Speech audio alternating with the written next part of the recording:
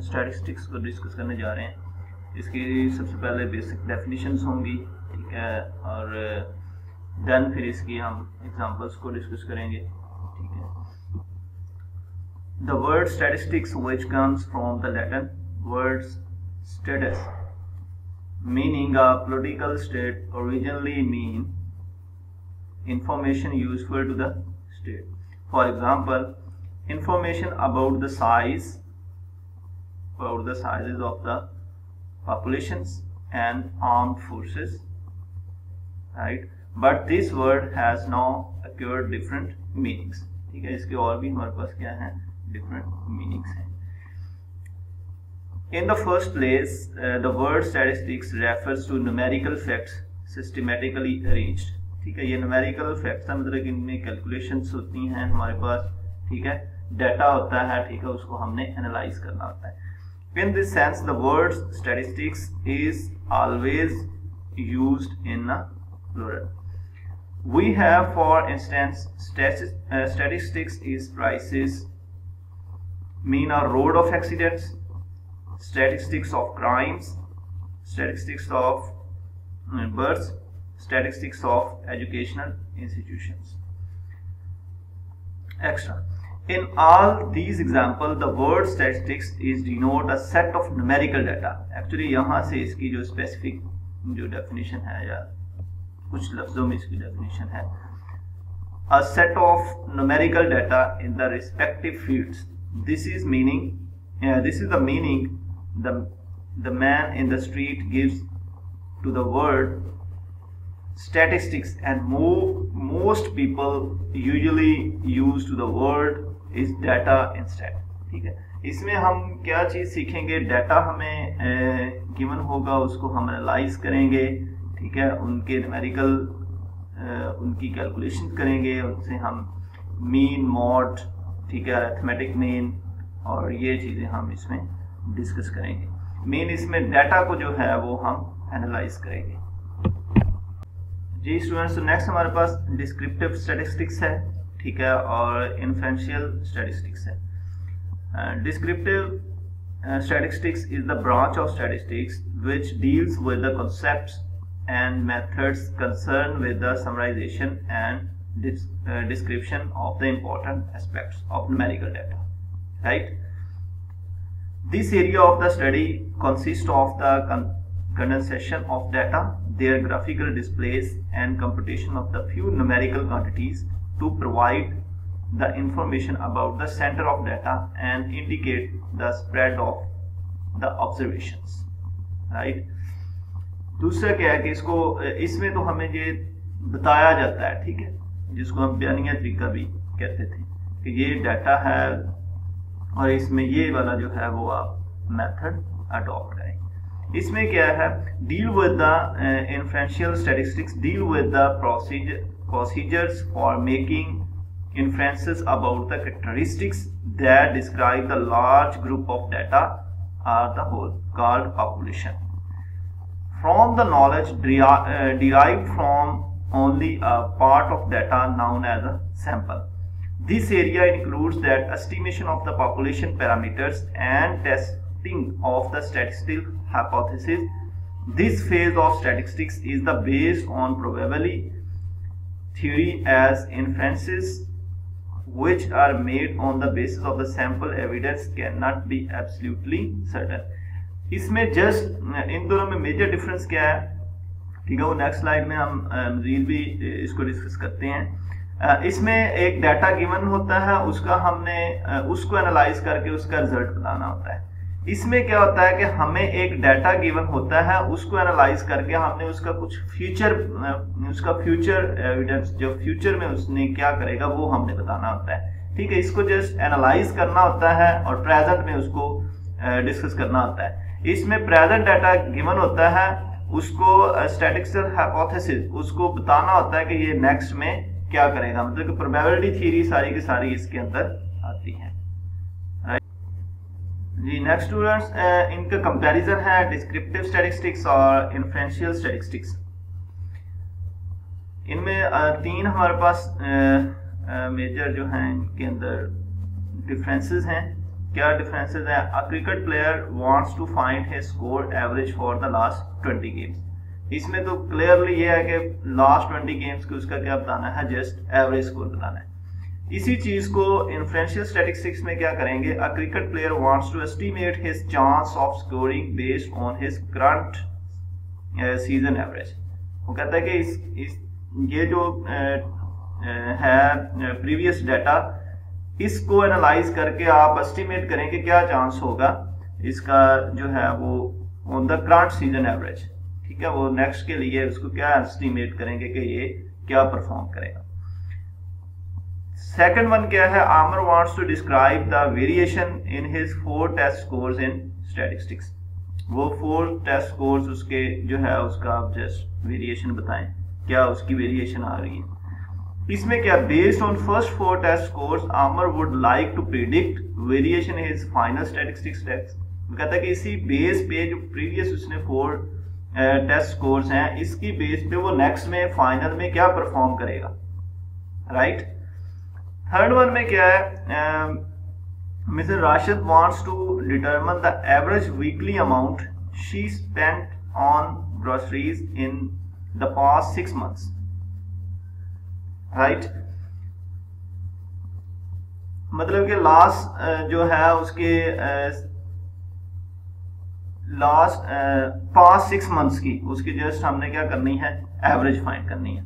Means present में है, वो उसका जो गिवन डाटा है, उसकी हम एवरेज फाइंड कर देंगे। इसमें क्या है? Based on the last six months last six months grocery bills mister Rashid would to like to predict the average amount she will spend on groceries for the upcoming year. वो कहते हैं कि इस बेस पे आप बताएँ कि वो नेक्स्ट में जो है उसका कितना स्पेंड होगा। ठीक है? मतलब कि ये वाला टोटली क्या बताता है?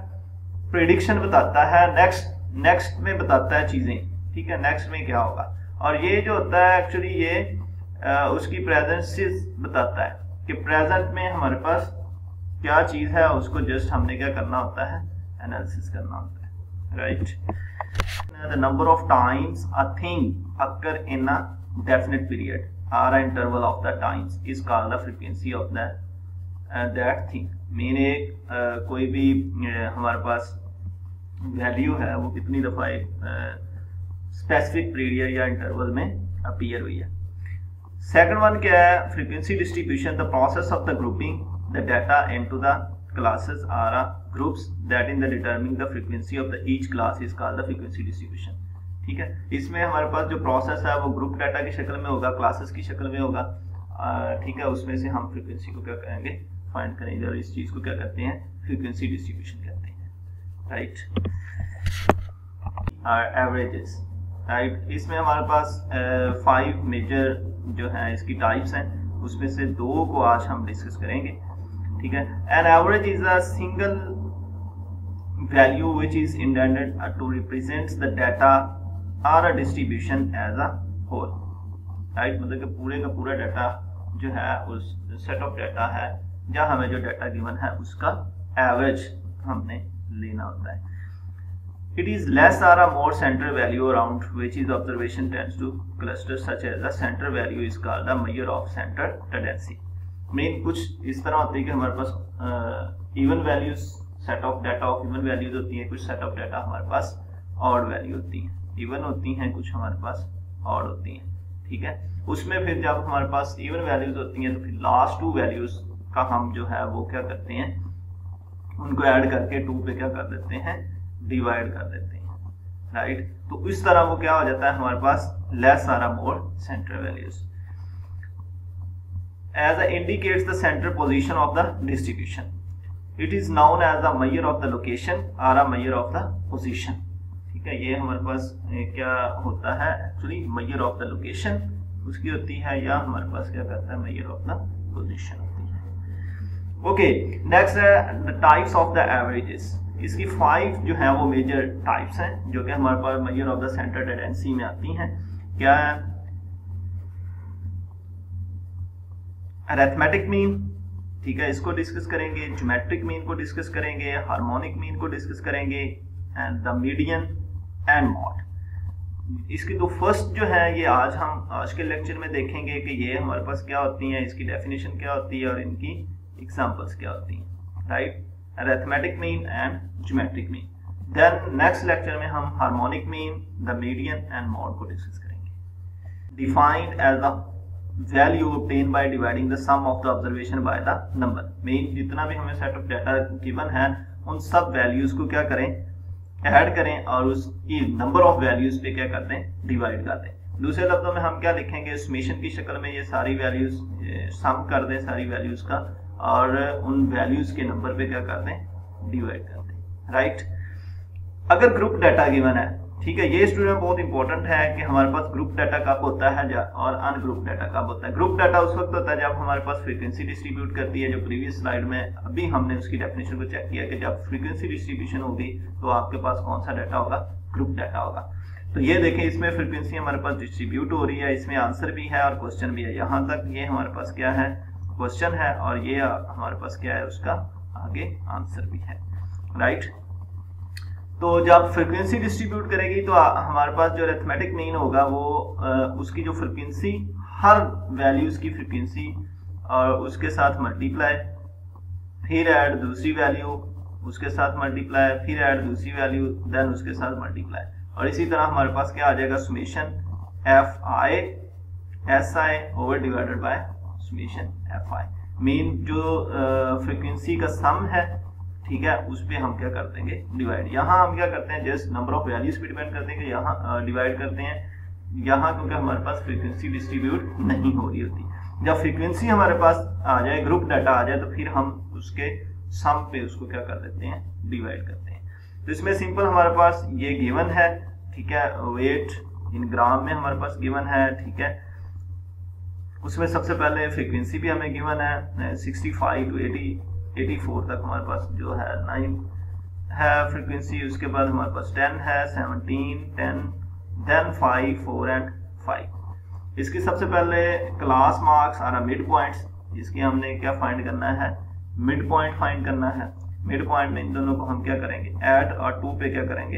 डिवाइड सिमिलरली इन दो वैल्यूज़ को जो करेंगे वो हम ऐड करेंगे और टू पे क्या करेंगे डिवाइड करेंगे। क्लास मार्क्स का जो है वो हम क्लास बाउंड्रीज का भी क्वेश्चन करेंगे, वो नेक्स्ट लेक्चर में करेंगे क्लास बाउंड्रीज का। ठीक है? और यहाँ हमारे पास क्या आ जाएगा? नेक्स्ट टू वैल्यूज़ को ऐड देन उस पर डिवाइड तो ये हमारे पास क्या आ जाएँगे? इनके मिड पॉइंट्स आ जाएँगे। राइट हमने क्या करना है कि हमारे पास फ्रीक्वेंसी भी गिवन है मिड पॉइंट हमने फाइंड आउट कर लिया इन दोनों को multiply mean F I X I तो सबसे पहले यहाँ क्या होगा? F one X one then में हमारे पास एफ़ टू एक्स टू ठीक है? इसको मैं कह रहा हूँ कि ये एफ़ वन है, ये एफ़ टू है, ये एफ़ थ्री है, ये एफ़ फोर है, ये एफ़ फाइव है। देन एफ़ सिक्स और अप टू सोन चलता जाएगा। ठीक है? तो इस तरह इनको मल्टीप्लाई ठीक है? फिर ये एफ़ आई एक्स आई बनेगा। इसको मल्टीप्लाई इन दोनों को मल्टीप्लाई किया, ये आंसर आ गया। इन दोनों को 17 multiply by double one four point five ये हमारे पास आ गया। देन हमारे पास ये आ गया, ठीक है? और लास्ट में five multiply by one nine four point five उसको मल्टीप्लाई करेंगे तो हमारे पास ये आ जाएगा। अब इनको क्या करना है? ऐड करना है। सिंपल इनको क्या करना है? ऐड करना है। तो ऐड करेंगे तो उसको हम लिखते हैं summation F I X I ठीक है इन सबको जब हम ऐड करेंगे तो हमारे पास आंसर आएगा seven seven thousand three hundred and fifty ठीक है तो ये हमारे पास क्या आ गया? Summation F I X I ठीक है तो फार्मूला हमारे पास क्या होता है कि summation F I X I divided by summation F I ठीक है सिंपल ये भी हमने फाइंड कर लिया ये भी हमने फाइंड कर लिया है। ठीक है तो इन, इनको आपस में क्या कर देंगे? डिवाइड ठीक है? Summation F I X I divided by summation F I क्योंकि ये आपस में कुछ स्टूडेंट कहते हैं ये कैंसिल ये कैंसिल नहीं होते क्योंकि ये सुमेशन अप्लाई हो रहा है इन दोनों के ऊपर। ये जस्ट इसके ऊपर अप्लाई हो रहा है। ठीक है? तो यहाँ हमारे पास क्या आ जाएगा? इसकी वैल्यू आ गई और देन हमारे पास इसकी वैल्यू आ गई। तो उसको जब हमने कैलकुलेटर पे डिवाइड किया तो हमारे पास आ गया one double two point five तो ये स्टूडेंट था हमारे पास अरेथमेटिक में। उसका वैसे उसकी वैल्यूज़ ठीक है?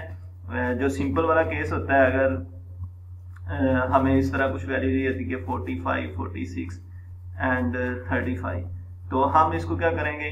कि इन तीनों को ऐड करके थ्री पे डिवाइड तो ये फॉर्मूला यूज़ होगा। अगर हमें साथ में फ्रिक्वेंसी भी गिवन है तो फिर हम इस फॉर्मूले को यूटिलाइज करेंगे। ओके ठीक है, इसका पहले फॉर्मूला जो है डिराइव किया गया है देन हम इसकी एग्जांपल को देखेंगे। The geometric mean G is a set of n positive values मतलब कि हमारे पास n पॉजिटिव वैल्यूज़ हैं, ठीक है? उसको कह देते हैं कि x1 x2 x3 and xn is defined as the nth root of their product तो हम, हमारे पास n वैल्यूज़ हैं तो हम उनका क्या लेंगे? nth रूट लेंगे, ठीक है? मींस हमारे पास इसको ज्योमेट्रिक है तो इसको कैपिटल जी से डिनोट करते हैं। तो इसका nth रूट ये हमारे पास क्या है? यहाँ n है राइट तो सिंपल इसको x1 मल्टीप्लाई करना है राइट पॉजिटिव वैल्यूज़ है? तो ये मल्टीप्लाई हो रही है हमारे पास x2 x3 up to so on xn तो उसका क्या लेना है? Nth रूट वन और एन आर ठीक है? फिर हमने taking log on both side दोनों तरफ़ क्या ले लिया हमने? जस्ट लॉग ले लिया। ठीक है? इधर भी हमने क्या ले लिया? लॉग ले लिया। तो लॉग की प्रॉपर्टी से हमारे पास ये पावर क्या चले जाएगी? स्टार्ट में। राइट तो ये लॉग की प्रॉपर्टी से हमारे पास पावर क्या चलेगी? स्टार्ट में दिया गया one over N log of X one X two and then हमारे पास एक्स एन ओके नेक्स्ट हमारे पास लॉग की प्रॉपर्टी हमारे पास क्या होती है? लॉग अगर ए बी दो मल्टीप्लाई हो रहे हो तो लॉग प्रॉपर्टी क्या करती है? Log of A plus log of B दोनों ऐड हो जाते हैं। इस तरह हमारे पास nth है तो ये हमारे पास एन दफ़ा ऐड हो जाएँगे। Log x1 log x2 log x3 up to so on log X xn ठीक है डिवाइडेड बाय एन और इसको हम क्या लिखेंगे? ये सारे one two three four five N तक है तो इसको हम लिख सकते हैं summation i is equal to one to N log of xi ठीक है one over n. Summation i is equal to one to N log of xi okay I is equal to N होगा तो हमारे पास ये बन जाए। ठीक है वन होगा तो फ़र्स्ट टू होगा तो सेकंड थ्री होगा तो थर्ड इस तरह हम ये वन और एन इससे क्या होगा? हर एक से मल्टीप्लाई होगा। सिमिलरली हमें जी चाहिए क्योंकि राइट साइड पे हमारे पास लेफ़्ट साइड पे क्या है? हमारे पास लॉग लॉग ऑफ़ जी है तो हमें क्या चाहिए होता है? जी चाहिए होता है। तो जी के लिए हम क्या करेंगे? दोनों तरफ़ एंटी लॉग अप्लाई कर देंगे। अप्लाइंग एंटी लॉग इस साइड पे तो कैंसिल हो जाएगा। लेफ़्ट साइड पे तो इस तरफ़ हमारे पास आ जाएगा एंटी लॉग ऑफ़ वन और N summation I equal to one to N log of X I तो ये हमारे पास हर ग्रुप डेटा के लिए होगा, जब हमें फ्रीक्वेंसी गिवन नहीं होगी नो फ्रीक्वेंसी जब हमें फ्रीक्वेंसी गिवन ग्रुप डेटा होगा फ्रीक्वेंसी डिस्ट्रीब्यूट करेगी देन हम क्या करेंगे? कि F I log of X I just यहाँ हम किसको ऐड कर देंगे? एफ़ आई को ऐड सिंपल ठीक है तो ये हमारे पास है ज्योमेट्रिक मीन ठीक है ग्रुप डाटा के लिए और अनग्रुप डाटा के लिए। अब इसका देखते हैं question mean of the data हमें ये डाटा गिवन है, ठीक है। देखें इसमें फ्रीक्वेंसी डिस्ट्रीब्यूट नहीं कर रही, ठीक है। जस्ट ये हमारे पास सिंपल है। नो फ्रीक्वेंसी डिस्ट्रीब्यूशन ठीक है। यहाँ हमारे पास फ्रीक्वेंसी नहीं है। ओके. ठीक है। प्रीवियस स्लाइड जब हमने अरेथमेटिक मीन को डिस्कस किया था तो उसमें हमारे पास फ्रीक्वेंसी डिस्ट्रीब्यूशन थी, और वो हमने एग्जांपल फ्रीक्वेंसी वाली की थी। तो ये हमारे पास एग्जांपल है विदाउट फ्रीक्वेंसी फ्रीक्वेंसी डिस्ट्रीब्यूट निकाले सबसे पहले इसको देख लेने के नंबर ऑफ़ वैल्यूज़ कितनी है। यहाँ one two three four five six seven eight and nine तो ये हमारे पास कितनी है? नंबर ऑफ़ वैल्यूज़ दूसरा हमारे पास फार्मूला होता है इस फार्मूले को याद रखना है। लॉग ऑफ़ जी हमारे पास वन ओवर एन तो एन हमारे पास नाइन आ गया। फ़र्स्ट का लॉग प्लस सेकंड का लॉग थर्ड का लॉग ठीक है? इसको रीअरेंज करने की इसमें ज़रूरत नहीं होती, ठीक है?